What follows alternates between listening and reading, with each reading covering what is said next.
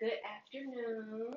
Um, I am in my kitchen and I'm making some candles right now. Um, I have an event coming up. For those who don't know, my name is Candace Jackson. I have a company, um, Speak Life Candle Company and more. So I make um, essential oil soy candles.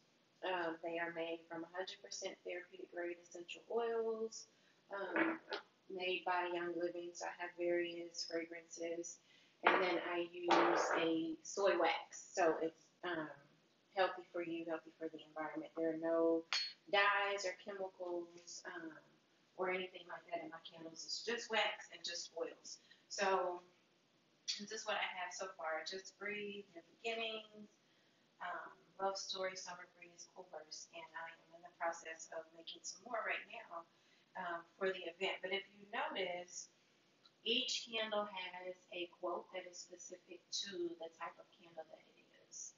Um, and so that's something that um, is important to me, uplifting and encouraging people through words. And so I wanted to implement that on the candles that I'm making.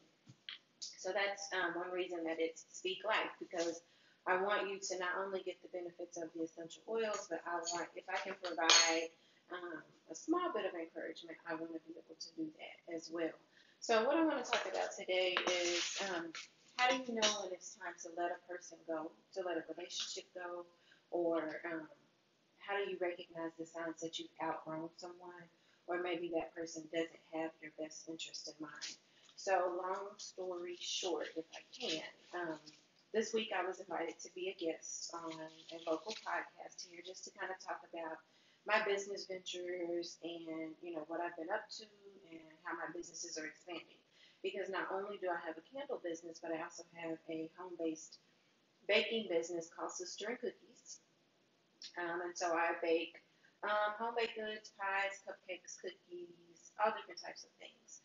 So during the interview, one of the questions that was asked of us was, um, what were some of the obstacles that you faced when you first started out, and you know, what are some things that you had to overcome to in order to be successful?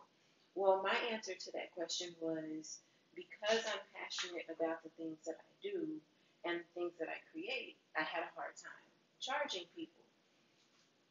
And um, what I mean by that is because I love to share. I love seeing people enjoy my food. I love people seeing, um, you know, tasting. Like I wanna. I'm that person that if I make something for you, I'm sitting there just like looking at you, like, how does it taste? How is is it good? You know, because I want to know. Like that excites me to know that I was able to soothe somebody's taste buds or their hunger or their appetite, or um, you know, with my candles, if I'm able to boost their mood with the Cool Burst because it has some uplifting aromas and everything in it. So that was my answer that I have a hard time, or when I started out, I had a hard time charging people because I just, I like to do things for people. You know, and of course, growing in business, I'm learning that it takes product to make things, and so I have to charge at least a little bit if I want to be successful. So um, not too long after I get home from the interview. It was a late night interview.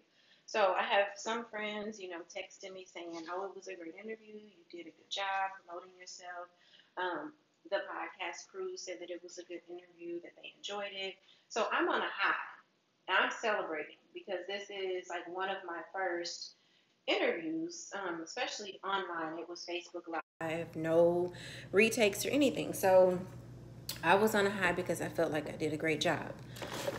So I get this text message from a person who, you know, we've been friends for a while.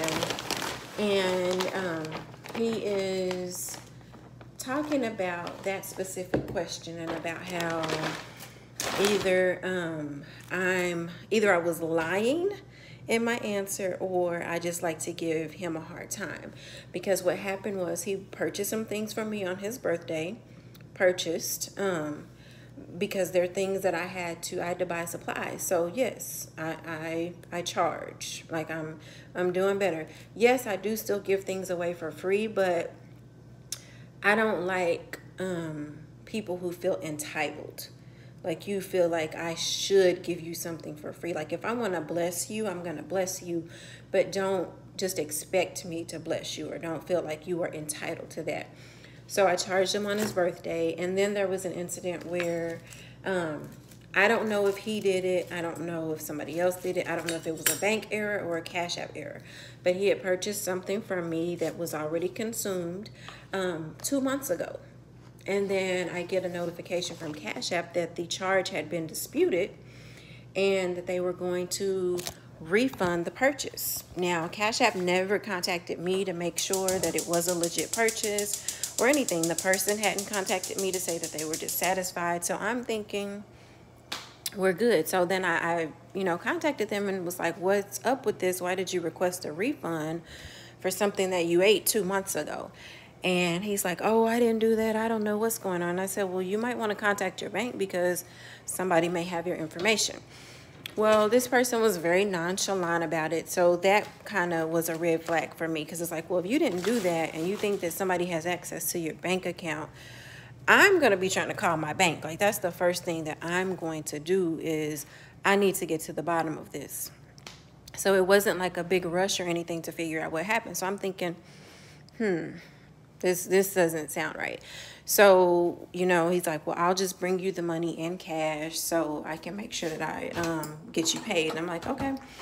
Um, yeah, you can bring that today because like I have had people to try to to give me the runaround or whatever about products or you know I'll give them something and they're supposed to pay at a later date and it won't happen or I've had people to order desserts and then just not pick up so I have new policies now that um, everything requires prepayment and pre-ordering so you know we made an agreement that he was going to bring the money over and then it's like late and he hasn't shown up. So where are you? You know, do I need to come and get my money?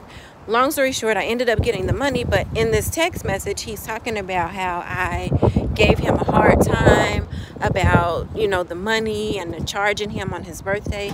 And my thing is, you don't know what that refund did to my bank account. What if I didn't have that money available and Cash App pulled the money out and now my account is negative. So you never thought about any of that. You just thought about how you felt in the situation and the fact that you feel like I did you wrong and that I'm lying about that I don't um, like to charge people.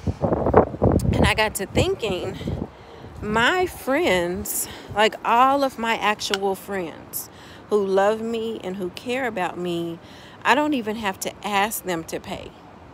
Like most times, they're, you know, forcing me to take money, or they will pay me before they even get the product. Like I'm, I'm now making essential oil blends, and one of my friends, I just showed her the one that I was using for myself, which was um, a soothing scalp blend. So, like if you have a dry, itchy scalp, I made one for myself, and I let her try it.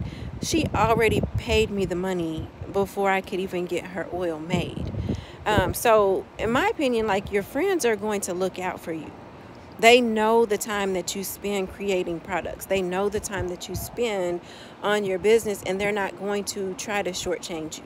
Yes, they may accept a blessing if you offer it, but true friends, true family members who care about you and your well being are not going to automatically expect things for free and they're not going to get upset with you when you don't offer them things for free.